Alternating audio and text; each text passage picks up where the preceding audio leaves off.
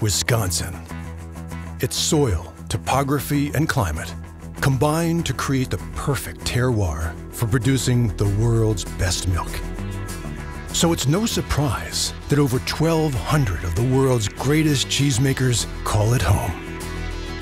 Well, what'd you know? Here are five of the all time greats right now. But how do they create all those award winning masterpieces of complex flavor and texture, celebrated the world over? Let's explore the five steps of cheesemaking and learn how to make the greatest cheese in the world.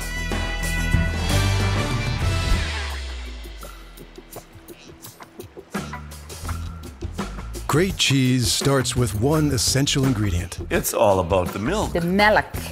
The milk! So it's no surprise that Wisconsin, America's dairyland, is home to mind blowing varieties of award winning cheeses. Once the farm fresh milk arrives at Henning's Wisconsin Cheese in Kiel, Wisconsin, it's lab tested for freshness, safety, and to ensure no antibiotics are present.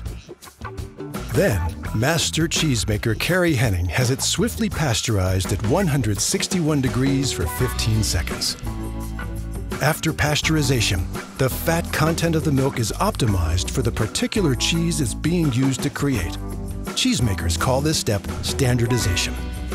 It takes about 10 pounds of milk to make one pound of cheese. What might be real subtle when you're drinking the milk gets to be concentrated 10 times when we're making cheese.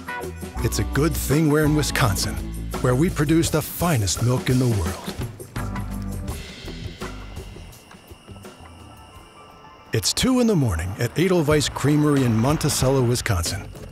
Master cheesemaker Bruce Workman is hard at work adding a starter culture of bacteria to the milk, marking the beginning of its much anticipated transformation. If I want a really sweet cheese or if I want something that's a little bitter, I can make the cheese a little bitter by changing the starter cultures to it. The culture turns the milk's lactose, or milk sugars, into lactic acid. Then, Bruce's son Ben adds the enzyme rennet, kickstarting the coagulation of the milk. Coagulation is simply the thickening of milk proteins. But to a cheesemaker, it represents one of cheesemaking's most beautiful and dramatic dances. Like a waltz. A foxtrot. Pop and lock.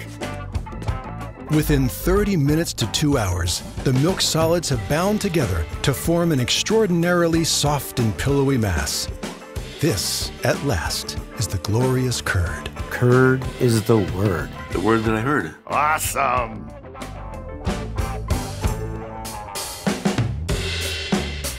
At Carr Valley Cheese Company in La Valle, Wisconsin, master cheesemaker Sid Cook and his crew are hard at work cutting the curd.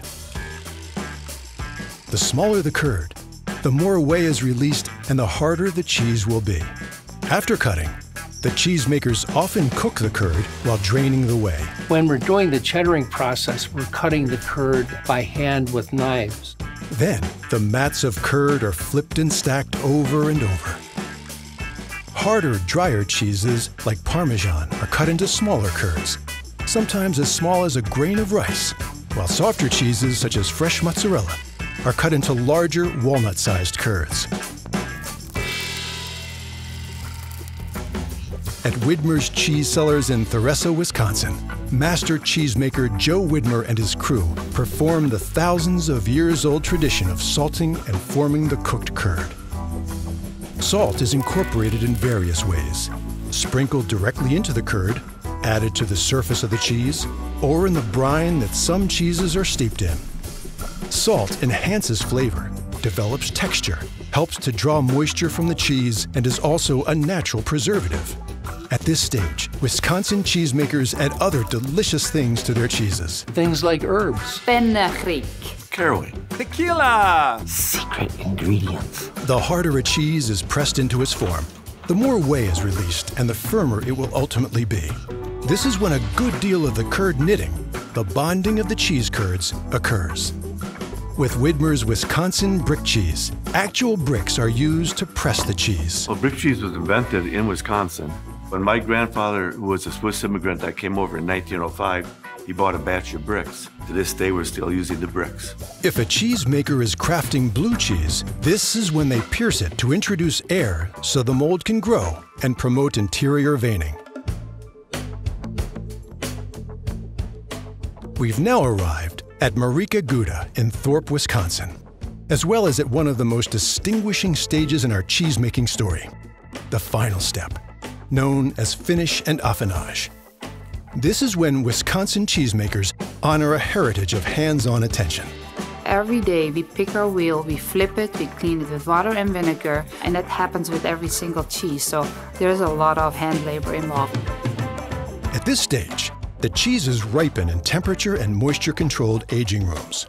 In the aging room, that's where all the magic happens. Fresh cheeses are ready soon after being made, while hard cheeses can take some time to ripen. That's why aging can range from several weeks to several years. Geduld is een schone zaak.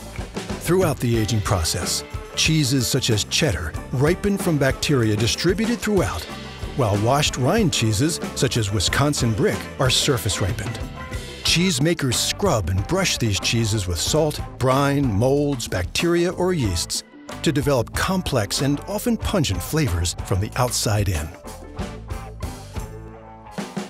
Testing the milk and filling the vat, adding culture and rennet, cutting and cooking the curd, salting and forming, and finish and affinage. With these five steps, the best milk on the planet, and more than 150 years of tradition, Wisconsin cheesemakers craft over 600 different types and varieties of cheese. They never stop striving to imagine, create, and recreate the greatest cheese in the world.